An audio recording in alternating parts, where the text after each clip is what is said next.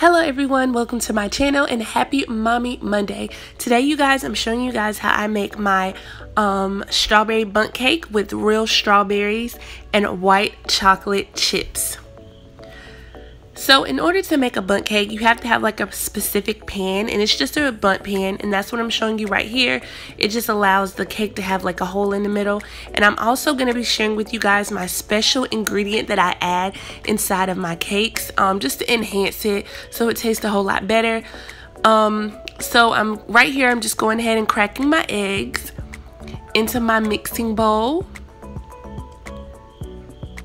And I'm adding my oil and my water and then my cake mix.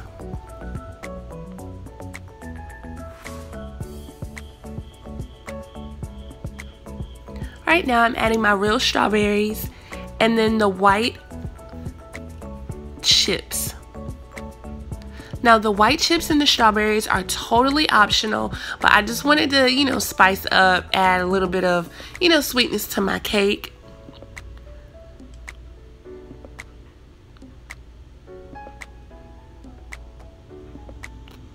Okay, guys, and I'm about to add my secret ingredient, you guys. Are you ready? It's salt. It's literally just salt, you guys. So all you're to need is just a hint of salt in there in your ingredients, in your batter, and just add a pinch of it in there. And that's just to enhance the sweetness and just make everything just come together perfectly. So my secret ingredient, guys, is just salt. So I'm just, um, before I add the mix into the pan, you just want to make sure that your pan is buttered down all the way. Now you can use butter, you can use Pam or whatever you prefer, but I'm just using butter and I'm putting it all over. Now I'm not going to be licking the bowl. I'm not going to let Hendrix lick the bowl. So I'm going to take a spatula and make sure I get all of that cake mix out.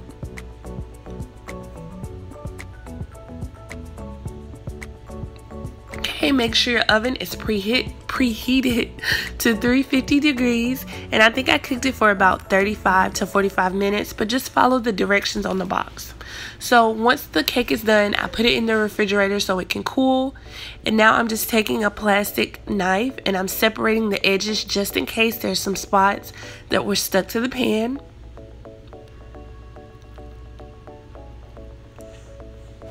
And then you're to just kind of flip it upside down and be gentle and wiggle it a little bit and your cake should like fall off pretty clean. Now as you can see there's like a few pieces that came off but that's perfectly fine because our icing drizzle is going to cover that. So now that that's done I'm going to take this and put it in the refrigerator so it can cool some more and start on my icing.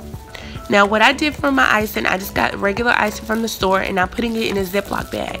And you fold the Ziploc bag over your hand so that it doesn't get messy or the icing doesn't get on your hand.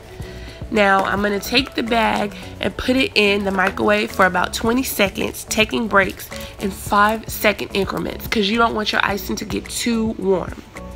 So once the icing is done, I'm going to go ahead and take the cake out of the refrigerator. And it has to be cold in order for this to work, you guys. So I'm cutting the tip off of the Ziploc bag and then you're just gonna go ahead and start squeezing and drizzling the icing on top of the cake now it would definitely be cuter if you use like strawberry um, icing or just dyed your icing with food coloring but um, it all tastes the same I guess when at the end of the day now, unfortunately, we didn't get to eat all the cake because the hurricane Florence came and we had to just get rid of everything in our refrigerator, unfortunately. But what I did get to taste, it was so good, so moist, and so delicious. So that's really all to it. It's very simple. It turned out so moist and so good.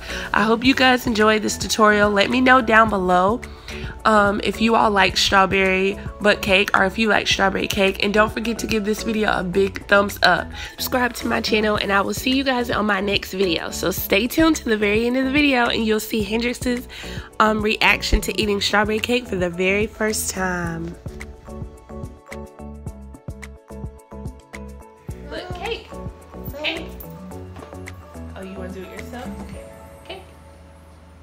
Oh, not the whole thing. Oh, my God.